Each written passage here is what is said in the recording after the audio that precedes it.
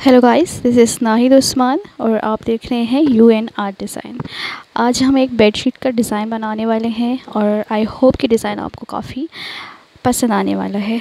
तो उसके लिए मैंने मोटिव को ऑलरेडी सेलेक्ट करके रखा हुआ है और मैं न्यू पे जाऊँगी और यहाँ से मैं पिक्सल्स में अपनी बेडशीट के डिज़ाइन के लिए साइज़ को सिलेक्ट कर लूँगी, जो कि मैंने विर्थ एंड हाइट 1000 रखा है और इसका रेजोल्यूशन 300 ये हमारा पेज क्रिएट हो गया न्यू और इस पेज को अब हम करेंगे अनलॉक और एक और लेयर यहाँ से आ, बना देंगे।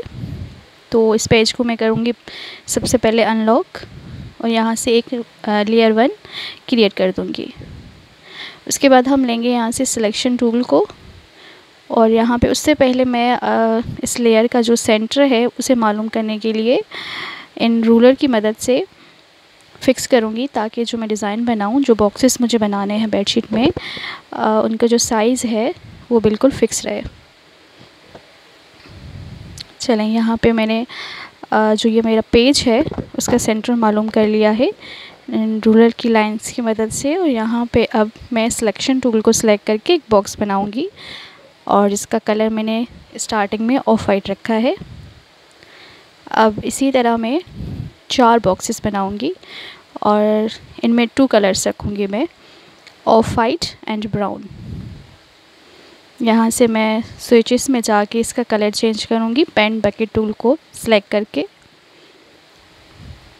और यही बॉक्स ब्राउन वाला हम नीचे लास्ट वाले कॉर्नर में रख देंगे ताकि हमारा एक डिज़ाइन का जो आ, एक लुक आए वो काफ़ी अच्छा आए।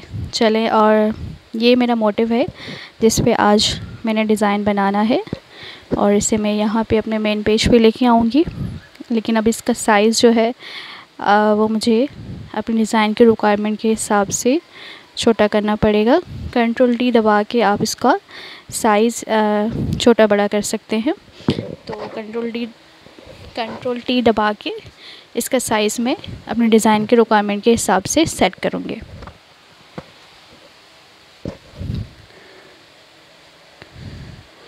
और मैंने इसका साइज़ छोटा कर दिया है और अब ये जो फ्लावर है मेरा मेन मोटिव जिससे मेरा डिज़ाइन बनेगा, इसको मैं अपने पूरे बॉक्सेस में फ़िक्स कर दूँगी। लेफ़्ट राइट सारा, सब कुछ देख के कि डिज़ाइन में ये कैसे लगेगा और इसका लुक कैसा आएगा, इसे पूरा फिक्स करूँगी। और इन दोनों मोटिव को की एक कॉपी लेके नीचे भी फिक्स कर दूँगी और इन दोनों मोटिव की कॉपी को मैं मर्ज कर दूँगी। मेरे ख्याल से ये मोटिव बिल्कुल परफेक्ट लग रहे हैं और दोनों काफ़ी सेट लग रहे हैं। चलें जी, ये हमारा एक बेडशीट का कंप्लीट डिज़ाइन बन चुका है और इसी का हम पैटर्न बनाएँगे और ये हमारी पूरी बेडशीट पे यही डिज़ाइन रहेगा। और यही बेड डिज़ाइन जो होगा हमारे कंप्लीट बेडशीट पे आएगा और इसके कलर काफ़ी प्यारे लग रहे हैं। यहाँ से मैं एक और लेयर को ले लूँगी और सिलेक्शन टूल की मदद से एक बॉक्स बना लूँगी, जिसका कलर मैं ब्लैक रखूँगी और इसको मैं यहाँ पे फिक्स कर दूँगी।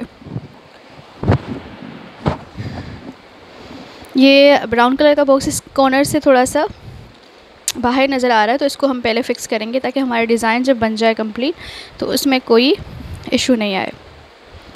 तो सारे बॉक्सेस को सही से एक दफ़ा देखने के बाद कि ये सब फिक्स हैं या नहीं, और रूलर की मदद से जो लाइन्स हमने खींची थी उन लाइंस को भी हम साइड में कर देंगे।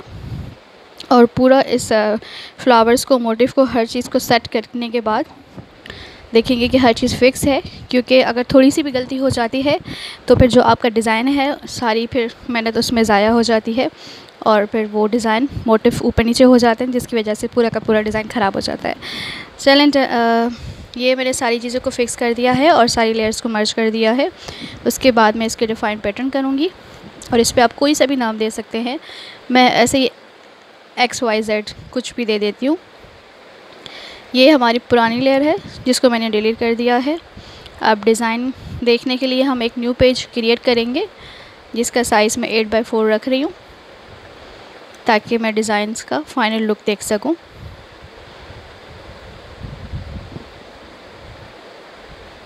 यहाँ पे हम जाके पैटर्न ओवरले पे जाके यहाँ से पैटर्न को देखेंगे। तो ये हमारा पैटर्न बन चुका है। अब इसका साइज़ हम अपनी मर्ज़ी के हिसाब से रखेंगे कि हमें कितना रखना है। तो चले जनाब, ये फ़ाइनल हमारा पैटर्न बन चुका है। और ये फ़ाइनल लुक आ रहा है हमारे पैटर्न का। आई होप कि ये पैटर्न आपको पसंद आया होगा। अगर पसंद आया है तो इसे लाइक शेयर कर दीजिएगा। अल्लाह हाफिज़।